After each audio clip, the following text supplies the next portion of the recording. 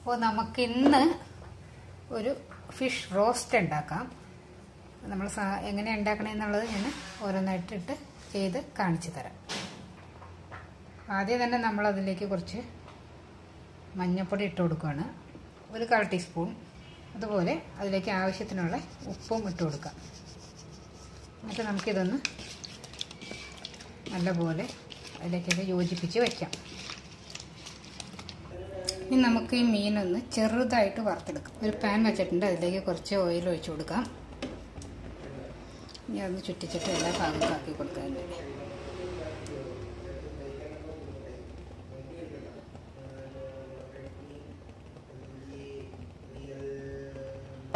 നമുക്ക് മീൻ കഷ്ണങ്ങൾ ഓരോന്നായിട്ട് ഇതിലേക്ക് വെച്ച് കൊടുക്കാം. ഇത് മുഴുവനും നല്ല അതായത് നല്ല ഫ്രൈ ആയിട്ട് എടുക്കണ്ട കേട്ടോ. ഒരു ഡീപ് ഫ്രൈ ആക്കണ്ട. പകുതി വേവാക്കി രണ്ട് സൈഡും എടുത്ത് മാറ്റി വെക്കണം. നമുക്കിത് മറിച്ചിട്ട് കൊടുക്കാം. ഇത്രയും പാകത്തിന് ആക്കിയിട്ടുള്ളൂ. ഞാൻ മുകളിൽ വേവാൻ നിന്നിട്ടില്ല. മറിച്ചിടുമ്പോൾ എണ്ണ കുറവുണ്ടെന്ന് തോന്നിയാൽ സ്വല്പം എണ്ണ കൂടി നമുക്ക് ഇതിലേക്ക് ഒഴിച്ച് കൊടുക്കാം. രണ്ട് സവാളയും രണ്ട് തക്കാളി രണ്ടൊന്ന് പച്ചമുളക് കുറച്ച് വെളുത്തുള്ളി ഇത്ര എടുത്തു വെച്ചിട്ടുണ്ട്. അതെല്ലാം അരിഞ്ഞു വയ്ക്കാം നല്ലോണം മുരിഞ്ഞിട്ടുണ്ട്. ആവശ്യത്തിന് നല്ലോണം അല്ല ആവശ്യത്തിന് മുരിഞ്ഞിട്ടുണ്ട്. ഇതിനി വേറൊരു പാത്രത്തിലേക്ക് മാറ്റി വയ്ക്കാം ഞാൻ ഫിഷെല്ലാം എടുത്ത് മാറ്റി അതേ പാനിലേക്ക് തന്നെ കുറച്ച് ഓയിൽ ഒഴിച്ചു കൊടുത്തിട്ടുണ്ട്. എന്നിട്ട് ഞാൻ ആ അരിഞ്ഞു വെച്ചിരിക്കുന്ന സവാള അതിലേക്ക് ഇട്ട് കൊടുക്കുകയാണ്. നമ്മുടെ സവാള എല്ലാം വഴന്നു വന്നിട്ടുണ്ട്. ഇനി നമുക്കിതിലേക്ക് അരിഞ്ഞു വെച്ചിരിക്കുന്ന തക്കാളി കൂടി ഇട്ട് കൊടുക്കാം. ഇത് എത്രയും പെട്ടെന്ന് ഞാൻ പറഞ്ഞ് ചെറിയ രീതിയിലാണ് ഈ ഡിഷ് അവതരിപ്പിക്കുന്നത്. ഒന്ന് രണ്ട് വീഡിയോ വലുതായി പോയിട്ടുണ്ടെന്ന് എനിക്കറിയാം. എനിക്കും വലിയ വീഡിയോസിനോട് അത്ര താല്പര്യമല്ല. വേറെ ആരുടെങ്കിലും കാണുവാണെങ്കിലും.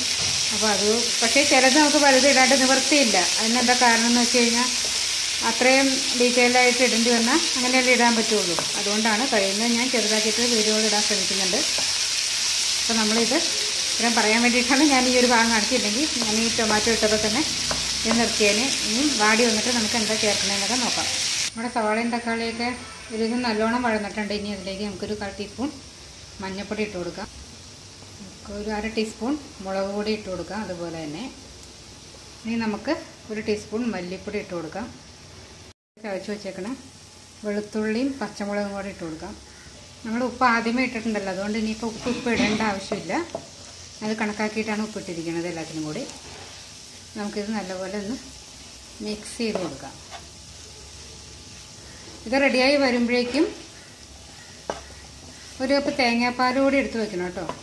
ഒന്നാം പാലും അല്ല രണ്ടാം പാലും അല്ല. ഒരു രണ്ടിന്റെ ഇടയ്ക്ക് നിൽക്കുന്ന കൊഴുപ്പിലുള്ള പാൽ വേണം ഇതിലേക്ക് ഞാൻ നമ്മൾ നേരത്തെ ഉള്ളിയും സവാളയും പച്ചവളം കഴിച്ച ആ പാത്രത്തിൽ തന്നെ കുറച്ച് വെള്ളം ഇട്ട് ഒഴിച്ചു കൊടുക്കുകയാണ്. ഇവിടെ ചെറിയൊരു പണി നടക്കണ്ട. എന്റെ ഒച്ച ഇടയ്ക്ക് കേൾക്കണ്ട. ഒച്ചയില്ലാത്ത നേരം നോക്കി വേഗം പറഞ്ഞുതരാം. ഇനി നമുക്കിത് വീണ്ടും തുടങ്ങി. അപ്പം നമുക്ക് ഇതൊന്ന് ഇളക്കിയിട്ട് അടച്ചു വെച്ച് വേവിക്കാം. നമ്മുടെ തക്കാളിയും സവാളയൊക്കെ വഴന്നു വന്നിട്ടുണ്ട്. അപ്പോൾ അതിലേക്ക് നമുക്ക് കുറച്ച് ഇഞ്ചി വെളുത്തുള്ളി പേസ്റ്റ് കൂടി ചേർത്ത് കൊടുക്കാം. ഇഞ്ചി വെളുത്തുള്ളി പേസ്റ്റ് വാങ്ങിക്കുന്നതാകുമ്പോൾ അതിന്റെ ഗുണം കുറയും. അതുകൊണ്ട് കൂടുതൽ ഇട്ട് കൊടുക്കണം കേട്ടോ. അപ്പോൾ നല്ലോണം ഒരു ടീസ്പൂൺ ഇട്ടിട്ടുണ്ട്. ഇനി നമുക്കിതിലേക്ക് കുറച്ച് ഫിഷ് മസാല ഒരു ടേബിൾ സ്പൂൺ ഫിഷ് മസാല കൂടി ചേർത്ത് കൊടുക്കാം. നമുക്കിത് വീണ്ടും ഒന്ന് മിക്സ് ചെയ്തിട്ട് അടച്ചു വയ്ക്കാം ഒരുവിധം ആയിട്ടേ ഉള്ളൂ. ഇത് നല്ലോണം കഴിയാവുന്നത്ര പേസ്റ്റ് പോലെ ആക്കി എടുക്കണം നമ്മളിത്. അപ്പോൾ തന്നെ നല്ലോണം ഉടഞ്ഞിട്ടുണ്ട്. നമുക്കിനി ഒന്നുകൂടി സ്വല്പം വെള്ളം ഒഴിച്ചിട്ട് അടച്ചു വയ്ക്കാം. മിക്സ് ചെയ്യാം അടച്ചു വയ്ക്കാം. സവാളി തക്കാളിയൊക്കെ നല്ലപോലെ വഴന്നു വന്നിട്ടുണ്ട്. ഇനി നമുക്ക് ഒന്നുകൂടി ഇതുപോലെ പ്രസ് ചെയ്ത് ഉടച്ചു കൊടുക്കാം. എന്നിട്ട് ഈ പാത്രം എടുത്ത് മാറ്റി വയ്ക്കാം. നമ്മുടെ തേങ്ങാപ്പാൽ റോസ്റ്റാക്കി മാറ്റാം ഫിഷിനെ. അതെങ്ങനെയാണെന്നുള്ളതിന് ഞാനൊരു മീൻ വയ്ക്കുന്ന ചട്ടി അടുപ്പത്തേക്ക് വെച്ചിട്ടുണ്ട്. അതിലേക്ക് ഞാനൊരു ടേബിൾ സ്പൂൺ വെളിച്ചെണ്ണ ഒഴിച്ചു കൊടുക്കുകയാണ് വെളിച്ചെണ്ണയുടെ ചട്ടിയുടെ എല്ലാ ഭാഗത്തും വരാൻ പാകത്തിന് ആക്കിയിട്ടുണ്ട്. ഇതിലേക്ക് വേണ്ട ഒരു പ്രധാനപ്പെട്ട സാധനം ഒരു ചെറിയ വാഴയിലയാണ്. ഒരു കുഞ്ഞി തൂശനിലയാണ് ഞാൻ എടുത്തിരിക്കുന്നത്. അത് ഇതിന്റെ ഉള്ളിലേക്ക് ഇങ്ങനെ വെച്ചു കൊടുക്കും. ഇനി നമ്മൾ തയ്യാറാക്കി വെച്ചിരിക്കുന്ന ഗ്രേവിയിൽ നിന്നും കുറച്ചെടുത്തിട്ട് ഈ വാഴയിലയിലേക്ക് ഇട്ട് കൊടുക്കുക. ഇനി നമുക്ക് ഇതിലേക്ക് നമ്മൾ ഒരു പകുതി വറുത്ത് വച്ചിരിക്കുന്ന പകുതി വേവായിട്ട് വറുത്ത് വച്ചിരിക്കുന്ന മീനെല്ലാം വച്ചു കൊടുക്കാം ഞാൻ മീനെല്ലാം ഇതിലേക്ക് നിരത്തി വെച്ചിട്ടുണ്ട്.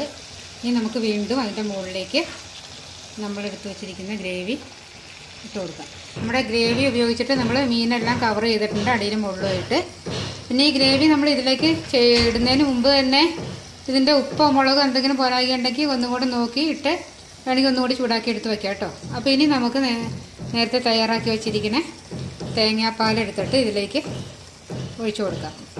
നമ്മളിനി ഇതിലേക്ക് കുറച്ച് കരിവേപ്പിലയും ചതച്ച് വെച്ചിരിക്കുന്ന ഒരു മൂന്നാലല്ലി വെളുത്തുള്ളിയും കൂടെ ഇട്ട് കൊടുക്കുകയാണ് ഇനി നമുക്ക് ഇതിലേക്ക് കുറച്ച് കുരുമുളക് പൊടി കൂടി വിതറി കൊടുക്കാം ഇനി നമുക്ക് വേറെ ഒരു വാഴയില എടുത്തിട്ട് നമുക്കിത് മൂടി വെച്ച് കൊടുക്കാം.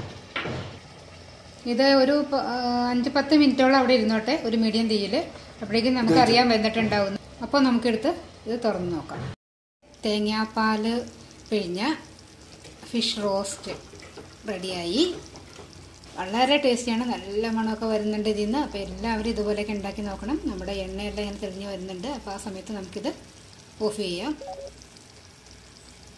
അപ്പോൾ സബ്സ്ക്രൈബ് ചെയ്യാനും ലൈക്ക് ചെയ്യാനും കമന്റ് ചെയ്യാനൊന്നും മറക്കല്ലേ? എല്ലാവരും നല്ല സപ്പോർട്ടായിട്ട് എന്റെ കൂടെ തന്നെ നിൽക്കുക. നമുക്കപ്പോൾ നല്ല പുതിയ കാര്യങ്ങളായിട്ട് വീണ്ടും കാണാം. അതുവരെ